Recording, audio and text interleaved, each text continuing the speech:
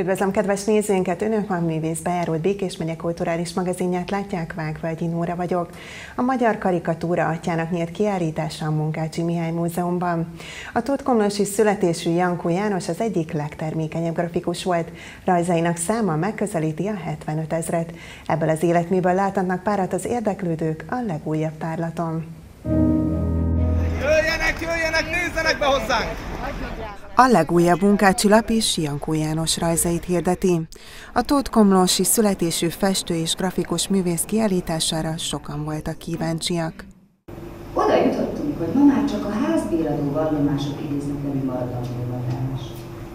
A mai menyecskék jobban értenek a nyaraláshoz, mint a televéshez. Minél jobban fogynak a kapós lányok, annál inkább szaporodnak a kapaszkodók. Komlósi Kata, Jókai Színház színésze, korhőruhában olvasott fel részleteket a Borszem Jankó című folyóiratból. A magyar karikatúra egyik nagymestere rajzaival görbetükröt tartott a 19. századnak függően, hogy melyik, éppen melyik lapnak dolgozott, egy kicsit másképp rajzolt. Másképp rajzol egy kicsit konzervatívabb lapnak, mint a vasárnapi újság. Másképp rajzol egy karikaturisztikus lapnak, mint az üstökös. Nem csak a, hogy mondjam, tehát nem csak, hogy jobban karikíroz, hanem más a foltok elhelyezése, drámaibbá válik, ütősebbé válik adott esetben. A kiállítás megnyitón Turok Margit elmondta, a Tóth Komlósi grafikus munkáival megteremtette a magyar népi életképet. Azért nincsenek ilyen nagyszerű rajzok Nyugat-Európában, mert nincsen Jankó Jánosuk. És a kiállítás is ilyen sokszínű próbál lenni, tehát bemutatja a festészetét néhány életképpel, amelyek igen fontosak, így ez jó néhány van, kötődik egyrészt Tótkomloshoz, másrészt pedig Békés megyéhez, és amit kiemelnék az az, az, az hogy, hogy a hagyomány dolgozta fel. Tehát ő járta az országot, és lerajzolta a különféle karaktereket, tehát azt, amit a néprajz úgy nevez, hogy, hogy dialektus, azt ő megvalósította a rajzos megjelenítéseiben. Tehát rendkívül hiteles, igaz, mert mindig a rajz igazsága érdekelte. Jankó János Bécsben találkozott először Munkácsi Mihályjal. A 11 évvel idősebb grafikus számtalan jó tanácssal látta el védencét. Egyesek szerint a Munkácsi Mihálynak hírnevet hozó Siralomház című kép ötlete is a grafikus egyik vázlatából indult ki. Azt tudjuk, hogy 1864-65 körül Bécsben együtt úgymond dolgoztak, egymás segítve, tehát az idősebb Jankó János pártfogásba vette Munkácsi Mihályt, közösen tervezgették a népi ihletésű képeket, tehát a Munkácsi féle életpálya elindításánál azért neki nagyon nagy szerepe volt. Jankó János megrajzolt figurái olyan friss, üdes színfoltként jelennek meg a papírokon, melyek még ha nem is ismerjük történetüket, ma is épp úgy hatnak ránk. 2016. október 28 és 31-e között a 20. Csabai Kolbász Fesztiválra látogatókat az igazi hazai ízek mellett remek fellépők és programok várják Békés Csabán. Mai vendégem Hégely Sándor, a fesztivál igazgatója, illetve tulajdonosa. Üdvözlöm! Üdvözlöm én is, és szeretettel köszöntöm a nézőket! Hogyan lett ön a fesztivál igazgatója, illetve tulajdonosa? Hogyan találkozott a fesztiválral? Hát egyszer csak úgy ébredtem, hogy én vagyok. Mondják, van egy ilyen szólásmondás is, hogy ahhoz, hogy, hogy valaki megígyon egy pohár tejet, ahhoz nem kell egy tehenet venni. Én mégiscsak így jártam, mert annak idején autókereskedelemmel foglalkoztam, és nagy támogatója voltam a fesztiválnak éveken keresztül. Nagyon-nagyon fontosnak tartottam az ügyet. Ambrus Zoltánnal, aki a fesztivál igazgató volt, nagyon jó kapcsolatunk alakult ki, és évről évre egy támogatással próbáltuk mi is segíteni ezt a Kolbász Fesztivált, meg magát, magát a hagyományoknak az ápolását. És volt egyszer egy kósza gondolatom, Zoli ott volt nálam, azt hiszem egy egy fesztivál eltelte után egy csomaggal jött hozzám, ahol megköszönte az előző évi támogatást, egy nagy szatyorban hozott húsvétra frissen füstölt kolbászt, és akkor ezt a mondatot elejítettem hogy Zoli, hogyha úgy gondolod, akkor akkor nagyon szívesen ebben a fesztiválban én is részt vennék, hogy segítenék. Úgy, pontosan nem is tudtam, hogy mit akarok, de, de azt tudtam, hogy, hogy közel áll hozzám ez az ügy. És az Zoli nagyon udvariasan megköszönte, és akkor látszott, hogy őt ez egyáltalán nem érdekli. De, de aranyos volt és kedves volt, és akkor eltelt azt hiszem egy év vagy kettő, újra ugyanígy találkoztunk, ismét támogattam a fesztivált. És akkor ő hozta fel, hogy Sanyi, komolyan gondoltad azt? Hmm, igen, persze, bár eltelt egy év. Azt mondja, hogy ha most még komolyan gondolod, akkor, akkor beszélgessünk róla. És ennek a beszélgetésnek az lett a vége, hogy egyszer csak én lettem a fesztiválnak a tulajdonosa és a főszervezője. És ugye a mai napi a hagyományőrzés az, az a legfontosabb cél, ha jól tudom. Így van. Minden évben megkérdezik tőlem szinte minden rádió vagy tele, televíziós interjúban, hogy, hogy mitől, mitől lesz ez más ez az idei fesztivál. És el szoktam mondani, és az idei évben is többször el fogom mondani, hogy nem akarunk mások lenni. Ennek a fesztiválnak attól a pillanattól kezdve, hogy megalapították az Ambrus család, hogy, és itt a Békés Csabajok, mert nagyon sok segítőjük volt, megalakult ez a fesztivál, onnantól kezdve magának a disznóvágás hagyományának a továbbadása volt a cél.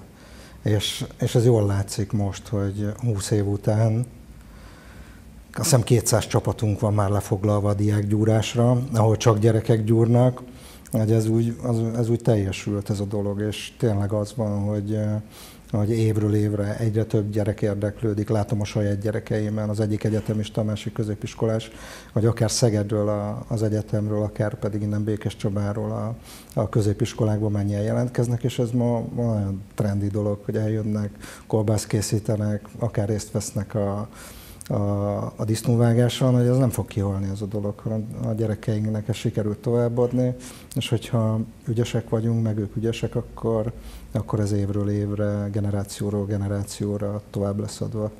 És úgy tudom, a te fiad is annó a gyerekgyúráson részt vett az iskolában, illetve díjat is nyertek, ha, ha jól olvastam. Azt nem tudom, hogy díjat nyertek, mert arra azért különös figyelmet szoktunk fordítani, hogy nehogy olyan vád érjen bennünket, hogy, hogy korrupció van a, a fesztiválon, úgyhogy nem tudom, de ettől függetlenül, hogy ők voltak a legügyesebbek, akkor biztos.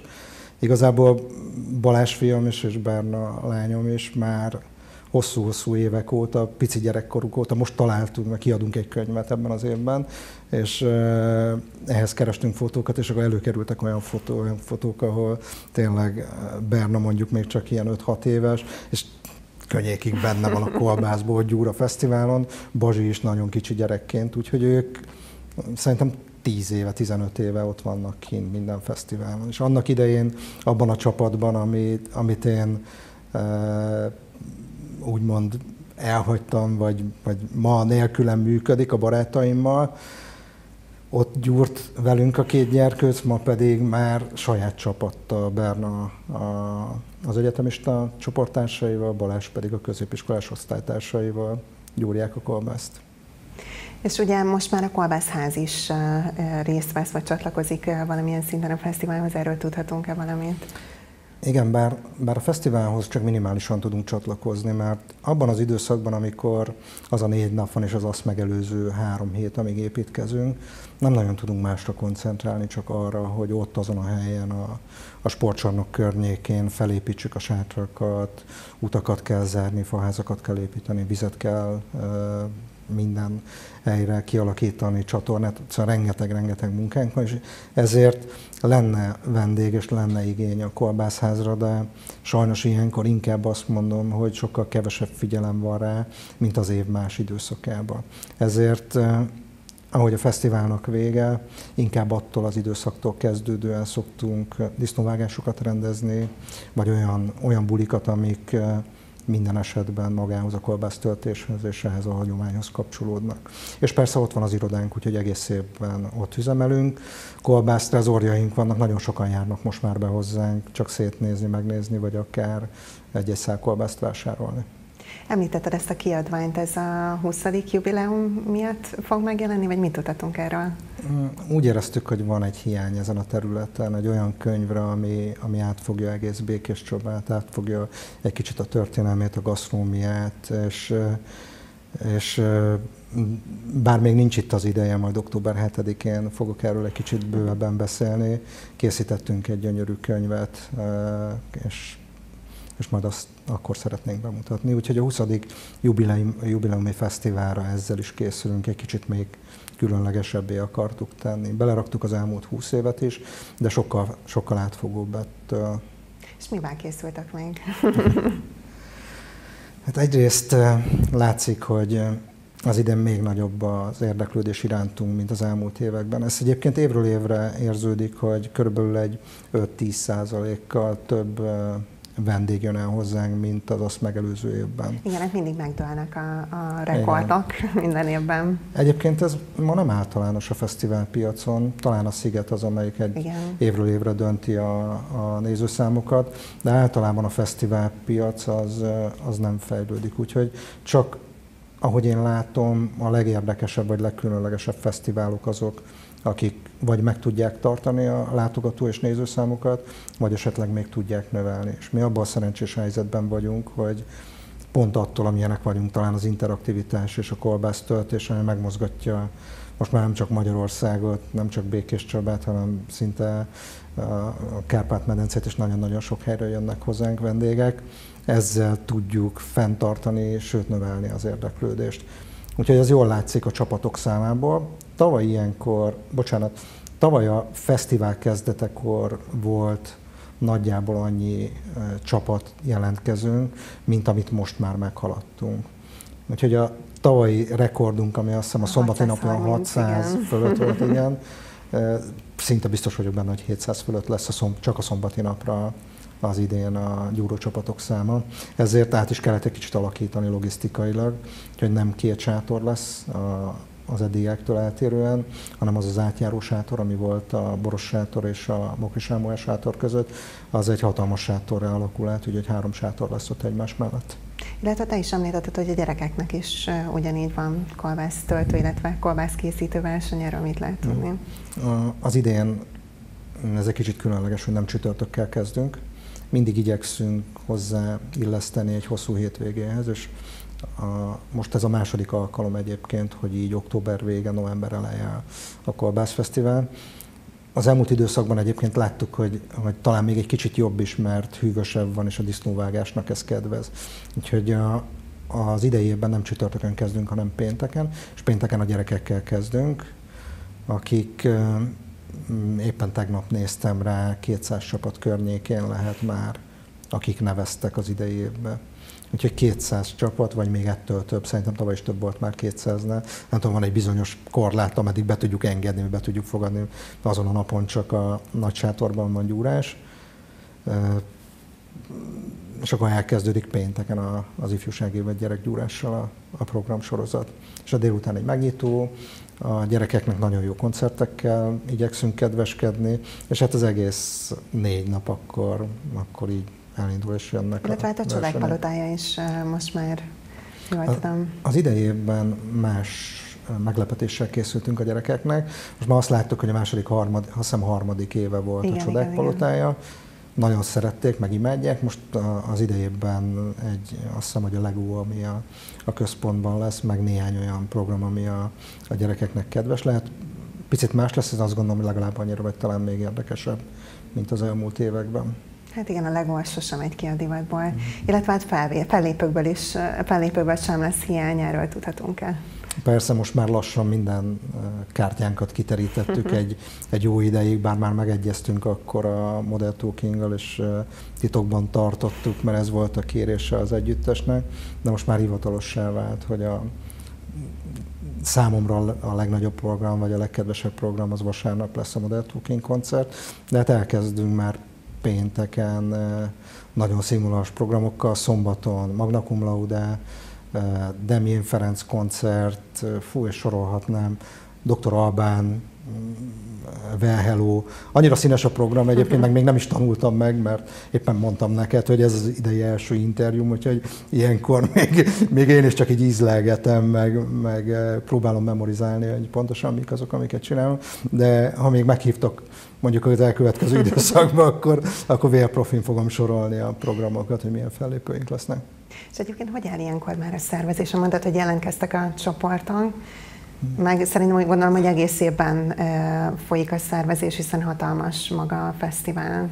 Így van. Ahogy vége van, ez nagyon érdekes, egyébként sokan így el sem képzelik, azt hiszik, hogy a fesztivál előtt egy hónappal nagyjából összedobáljuk, és akkor meg vagyunk.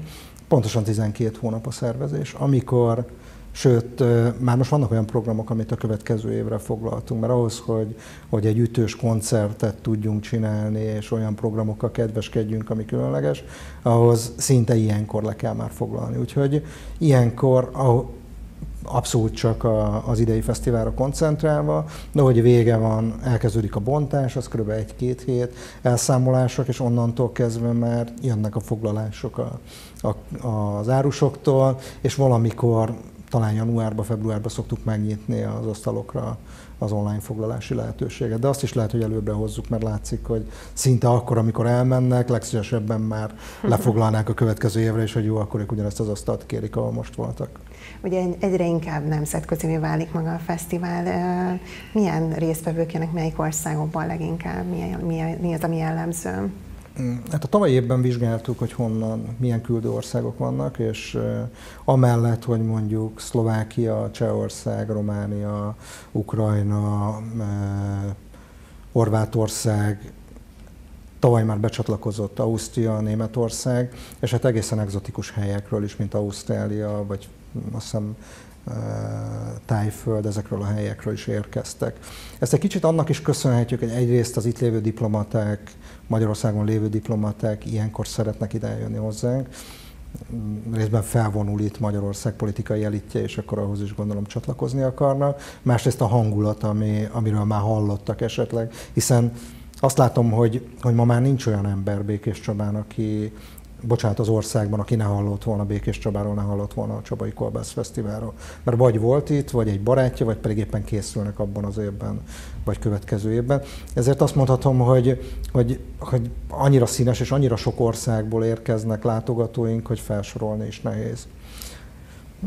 És ők a kolbász készítőversenyen is jelentkeznek? Tehát Abszolút, éppen azt akartam elmondani, hogy néhány évvel ezelőtt találkoztam egy csapattal, akik eh, halaskolbászt készítettek, japánok voltak, japán valahogy ide kerültek, lehet, hogy vagy akár diplomáciai úton, akár pedig valamelyik autó, mondjuk a suzuki keresztül, és ők tudom, hogy úgy készítették el a kolbászt, hogy raktak bele sózott halat. és egyébként mit lehet tudni a zsűriről, mi alapján dönti el, hogy melyik a legjobb kolbász? Minden évben beszoktam menni, és részt veszek a zsűri munkájában. Egyrészt nem tudtam először elképzelni, hogy pontosan hogy működhet, hogyan lehet kiválasztani ennyi kolbász közül azt, hogy valóban melyik a legjobb. Úgyhogy ez a kíváncsiság volt az első évben, aztán pedig már csak a következő években egy-egy üveg pálinkával szoktam oda menni, és így megsimogatom őket, a kitartás. Rájöttem, hogy ez félelmetesen nagy munka. A, a 630 csapatból, aki mondjuk a tavalyi évben kolbászt töltött, azért néhány csapatot elveszítünk a végére, mire le kell adni a, a kolbászt, és ők is elveszítik a kolbászt, amit le kellene adni. De azért körülbelül egy 500 és 550 nevezés van, akik valóban le is adják és meg akarják mérettetni, amit készítettek. Ez elkerül a főiskola konyhájára, és ott elkezdik megsütni ezeket a kolbászokat. A zsűri persze reggeltől körbejárja a sátrakat, és és ott írogat magának, hogy, hogy mi az, ami tetszett neki, mi az, ami nem tetszik. Most aki a mosogató szivacsot is beledarálta, persze biztos nem fogják megkóstolni, de vannak érdekesek egyébként, gesztenyét raknak bele, szilvapálinkával, nem tudom milyen borra, ki is jönnek belőle egyébként nagyon jó. Mert én például nekem a gesztenyés, ez egy mm, a, diák, a legelső diákgyúráson készítették a, az egyetemisták. Kicsit ijesztőnek hangzott, de egyébként nekem az egyik kedvencem volt akkor, hogyha külön kategóriát kellett a Csabai után, akkor ez egy ez jó kolbász volt. És vannak szóval ilyenkor külön díjak is? Tehát, hogyha valami mondjuk a halas kolbászra gondolok, vagy a gesztenyés pálinkás kolbászra? Persze, amit meg megkóstolni a zsűri és jónak ítéli, akkor, akkor az igen. Néhány, azt hiszem tavaly vagy tavaly előtt volt, amikor kenguruból készítettek az ausztrálok kolbász, hát biztos nagyon finom volt. Én maradnék azért a sertésből készült csobai kolbásznál. Oda bekerülnek, megsütik őket, és akkor elkezdi, a zsűri sok csoportra, mondjuk 5-6 csoportra bomlik, vagy felosztják magukat, és, és elkezdenek egy ilyen 5, kb. 80 és 100 adag között elkezdenek kóstolni. Úgyhogy nem mind az 500-at kóstolja végig mindenki, hanem azt a százat egy-egy csoport mondjuk lekóstolja, amennyi neki jut, és akkor ezt kezdik el szűkíteni egész odáig, hogy mondjuk minden csapat, zsűri csapat azt mondja, hogy jó, szerinte ez a tíz legjobb abból a százból, és akkor utána már azt az ötvenet mindenki végigkóstolja, és ezt szűkítik tovább. És akkor igazából megszületik a döntés, ott vitázni szoktak, de... Igen, ezt akartam kérdezni, mennyire nagy az egyetértés, mert azért az ízlelő bimbók az ez kicsit változó. Ahogy én látom, az első 20-30-nál ott abszolút egyetértés van, azt mindenki úgy a legjobbnak gondolja, hogy na ez, ez biztos benne volt a legjobb, de utána vérremenő viták vannak, hogy szerinte az pirosabb, meg nem tudom, szebbre volt darálva, kevés, kevesebb zsír van benne, miért nem csípősebb, ezeket így szépen végig szoktam hallgatni, és akkor a vége konszenzus egyébként, a végére meg tudnak állapodni, és akkor sikerül olyan döntést hozni, hogy sokaknak elképzelhetetlen, hogy na, ennyi kolbászból mégis hogy sikerült kiválasztani a legjobban. Nem egyszerű. Egyébként az elmúlt években választottunk be civil zsűrit is, éppen azért lásson bele nyugodtan, aki, aki ezt szeretné, hogy hogy néz ki belőle. Facebookon hirdettünk meg azt hiszem tavaly vagy tavaly előtt egy akciót, úgyhogy részt lehetett venni ebbe a, ebbe a munkába. És egyébként a zsűritagokról mit lehet tudni? A zsűritagokat kétféleképpen válogatjuk. Van a szombati nagy verseny, ahol azért azt tudni kell, hogy az mégiscsak egy populárisabb, és oda megpróbálunk olyan híres embereket, akik, akiket lehet, hogy csak tévéből láthattunk, körülbelül a, a zsűri felében beválogatni, és a másik felét pedig megpróbáljuk helyi szakemberekből, vagy olyanokból, akik értenek, ezt szeretik a gasztrómiát. Úgyhogy a, a szombati nagy verseny az, az mondjuk, ha van egy 20 fő zsűri, mert legalább annyian vannak, talán inkább még többen, abból az egyik fele az egy hozzáértő szakember, a másik fele pedig inkább olyan, aki, akivel mondjuk a, a televíziós csatornákon találkozhatunk. Erre nagy figyelmet fordítunk, mert szeretik az emberek, hogyha oda megy hozzájuk valaki, akit egyébként mondjuk egy zenekarban láttak, vagy előtte egy tévésorozatban. És itt én kik lesznek, ha mondanál pár nevet, ez biztos. Én kicsit titokba akartam még tartani. Lesz olyan, aki, aki érmet hozott az olimpiáról, lesz olyan, aki mondjuk egy nagy együttesnek a frontembere, lesz olyan, akit gasztronómiai műsorból ismerünk, mint frontember a televízióból, úgyhogy nem sokára majd kiterítem ezeket a lapokat is, de, de azt gondolom, hogy nagyon-nagyon fognak örülni, és szeretik ezeket az embereket a, a, a versenyzők. És van a, az első napon mindig a vastag kolbászoknak a, a versenye, ami, ami abszolút szakmai, és évről évre igyekszünk ezt, ezt nagyon határozottan és szélsőségesen a minőség felé elvinni.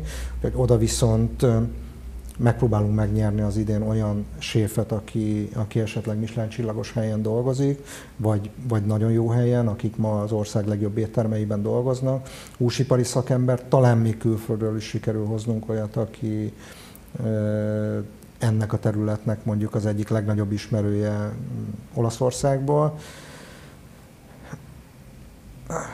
Húsipari, húsipari szakemberek, ott nincs más, ott, ott, ott nincsenek benne híres emberek, úgy híres emberek, hogy, hogy mondjuk, egy, amit hát, az előbb mondtam, tévéből igen, hanem, hanem, a szakma. hanem tényleg a mhm. szakma uh-huh. elitje szokott felvonulni, és mellette pedig a Kolbász Klubból egy-két-három olyan tag, aki, akinek nagyon elismerjük a munkáját, és, és valóban mondjuk kitűnő kolbászokat készít. Hogy így áll össze a zsűri. Egyrészt ők ismerik a csabai ízeket, és a zsűrit meg tudják tanítani arra, hogyha valamit másképpen gondoltak, hogy az mitől csabai és az mitől csabai íz. Másrészt pedig hozunk ide külsősöket, akik nekünk tudnak segíteni abban, hogy mi az, amit esetleg jól csinálunk, vagy a legjobban, és esetleg mi az, ami változtatni lenne érdemes. Hát akkor biztosan jó döntést fog idén is születni. Ez, ez igazából a nagy vitáknak a helyszíne egyébként, ott tényleg nagyon komoly szakmai, vérremenő viták vannak. Nagyon szépen köszönöm, hogy elfogadtad a meghívásunkat, és köszönöm, akkor október jöttem. 28 és 31-e között idén is Csabai Kolbász Fesztivál. Kedves nézőink, ezzel mai magazinunk végéhez értünk. Köszönjük megtisztelő figyelmüket, tartsanak velünk jövő héten is. Viszontlátásra!